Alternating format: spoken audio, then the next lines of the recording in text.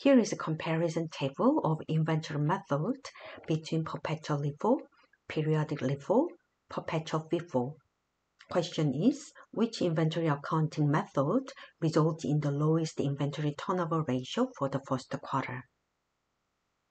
We need to calculate inventory turnover ratio. Inventory turnover ratio can be calculated by cost of goods sold divided by ending inventory. In this question, perpetual LIFO is already calculated as 279%. Let's calculate perpetual LIFO case. Cost of goods sold is 39,000 and ending inventory is 16,000. Then inventory turnover ratio becomes 244%.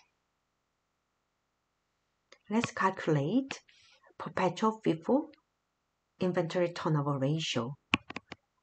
Cost of goods sold is 41,400 and ending inventory is 13,600. Then ratio becomes 304%. So in this case, periodic LIFO has the lowest inventory value.